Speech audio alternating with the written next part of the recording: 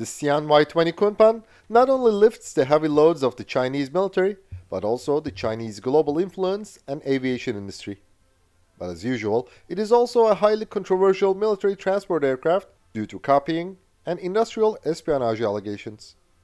As the weapon detective, we're investigating the Y-20, another symbol of China's increasing force projection capability.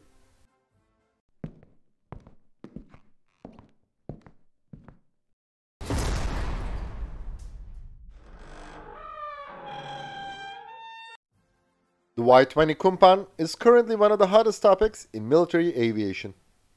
It seems like a quite capable military transport aircraft, even though its capabilities have not been officially unveiled yet. The official nickname of the Y-20 is Kunpeng, a mythical giant fish bird from the Taoist classic Zhuangzi.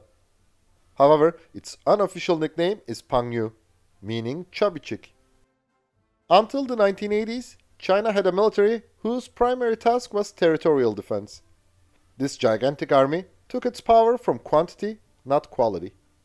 But then, the Chinese economy was grown, which led to two essential changes. First, Beijing now had the money to spend on more sophisticated weapon systems. Second, a growing economy needed more raw materials and new markets, so China had to increase its global influence.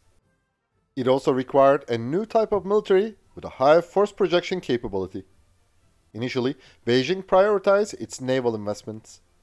After the USSR collapsed, new opportunities arose in military aviation area. In the 1990s, the People's Liberation Army Air Force, shortly PLAAF, got the IL-76 strategic military transport aircraft, whose NATO reporting name is Candid. With the assistance of the Ukrainian Antonov company, Shaanxi Aircraft Corporation developed and produced more capable variants of the Y-8, the Chinese copied variant of the AN-12 produced since the early 1980s. This work would also lead to the Y-9's creation in the 2010s. Since the IL-76 offered a satisfactory performance to the PLAAF, China initially planned to purchase a new batch of Candid from Russia. However, after the collapse of the Soviet Union, its production line remained in Uzbekistan and Russia did not restore the aircraft's production capacity. Everyone expected that China would copy the IL-76. They were wrong. Beijing had a different plan. Many sources claim that the Chinese hacked the major US aviation companies. Also, they had the technical support of Antonov. Designing a new and more capable strategic military transport aircraft was a wiser way than copying the IL-76 of the 1970s. So, Beijing initiated the Y-20 project in 2007. During the design and development phase, the Chinese engineers used many advanced technologies and techniques such as 3D printing, the model-based definition design technique, and the relational database management system. Besides, a human-machine interface, which utilized virtual reality via a helmet-mounted display, was developed for the Y-20's design. By these, the time and cost of all processes were reduced dramatically. Some internet sources shared photos of the Y-20 prototype in 2012. The aircraft made its maiden flight on January 26, 2013. The PLAAF took the first serial Y-20 into service on July 6, 2016. The Y-20's fuselage, wings, and tail are of mainly composite materials. The wings have triple slatted trailing edge flaps. Its cabin incorporates flame retardant. The cockpit incorporates four large multicolor liquid crystal electronic flight instrument system displays. The floor of the cargo bay and the ramp are equipped with standardized rail and attachment points to facilitate the preparation of the aircraft. The cargo bay has a length of 20 meters, a width of 4 meters, and a height of 4 meters. The Y-20 can carry up to 66 tons of cargo. According to many sources, the aircraft can transport such a load to 7,800 kilometers. On the other hand, the official US sources estimate that the Y-20 can reach a 3,700 kilometer range with a 66 ton cargo. They also claim the aircraft can fly 5,200 and 4,500 kilometers with 51 and 55 ton payloads, respectively. The Y-20 can transport one ZTZ-99 main battle tank, two ZTQ-15 light tanks, or two ZTL-11 wheeled armored assault vehicles. It is known that the Y-20 was not designed for taking off and landing from unprepared runways particularly. However, it is estimated that the aircraft has this capability, albeit limited. An unloaded Y-20 has a takeoff distance of 600 to 700 meters. But it increases to 1040 meters with a 20-ton cargo and over 1250 meters with heavier loads. To reduce the landing distance, the Solovyov D30KP2 turbofan engine of the Y-20 are fitted with thrust reversers. For self-defense, the aircraft is equipped with chaff and flares dispensers. The Y-20 has no air refueling capability since it has no air refueling probe and the PLAAF has no tanker aircraft with the boom system. Speaking of the air refueling capability, the YY-20 is the tanker variant of the Y-20. It supplements the PLAAF's Xi'an H-6U fleet. The YY-20 made its maiden flight in 2018 and entered PLAAF service in 2022. This variant features redesigned landing gear sponsons with sharper front and back ends to reduce air turbulence. China unveiled the Y20B version with four Shenyang WS20 high bypass turbofans in 2020. This engine produces 20.32 kN more power than the D30KP2 on the A variant. It's likely that the Y20B entered service this year in 2023. Probably, China will also take the Y-20B's tanker version too. Besides, Xi'an is working on the aircraft's airborne early warning and control and civilian variants. The three-person crew of the Y-20A consists of a pilot, co-pilot, and loadmaster. The aircraft has a length of 47 meters, a wingspan of 50 meters, and a height of 15 meters. Its wing area is 310 square meters. The empty weight of the Y-20A is about 100 tons, while its maximum takeoff weight is 220 tons.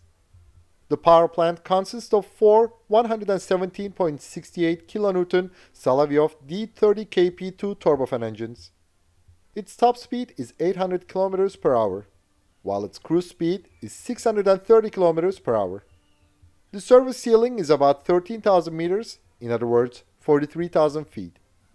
The aircraft's ferry range is 8,000 to 10,000 kilometers.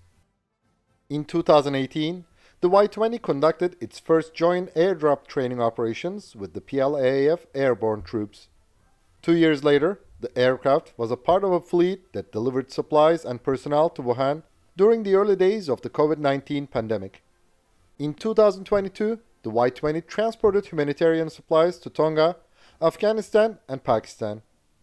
In the same year, six Y-20s landed at Belgrade Nikola Tesla Airport in Serbia to deliver the FK-3 surface-to-air missile systems. These missions have proven how the Y-20 increased China's strategic air transport capability. But also, the aircraft is a symbol of the level up in the Chinese aviation industry. As mentioned, the Chinese engineers use many advanced technologies and techniques such as 3D printing, the model-based definition design technique, and the relational database management system during the design and development phase. The model-based definition design technique accelerated the development progress, reduced the workload, and lowered manufacturing costs. This technique was mandatory for all contractors and subcontractors of the Y-20 program, which forced them to level up. The composites used in the Y-20 were produced in China, whereas they had to be imported before. Besides, the 703 Institute established a comprehensive Chinese evaluation and certification system for aviation composite materials based on international standards. Yet, the evidence indicates industrial espionage played an essential role in these achievements.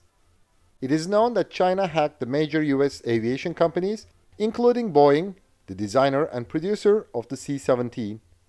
Also, Beijing bribed some US employees to leak information. So, many think that the Y-20 is nothing but a copy of the C-17 Globemaster III. Still, being a copy does not necessarily make a system inferior. The Y-20 can carry heavy loads to distant areas. The aircraft never says, I cannot transport a cargo because I'm just a copy. Besides, in our many Chinese system videos, we already mentioned that belittling the enemy is not a wise way. If we look at history, we can see that this has always been the way.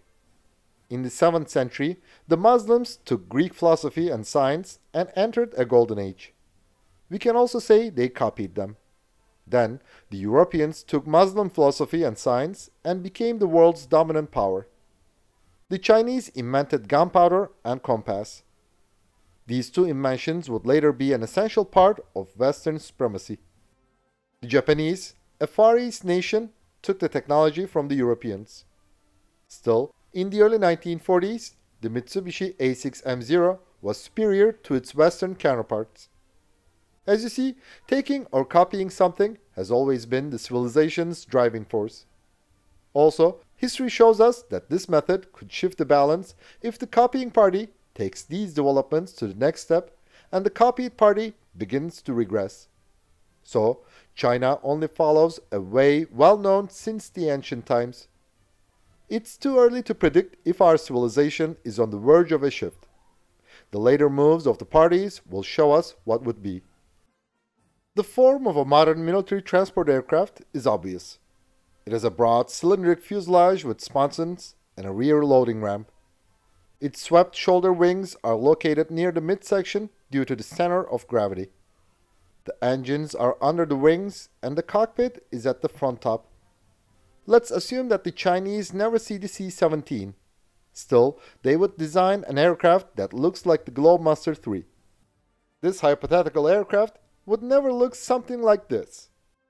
A pickup truck, truck, and trailer truck are all motor vehicles.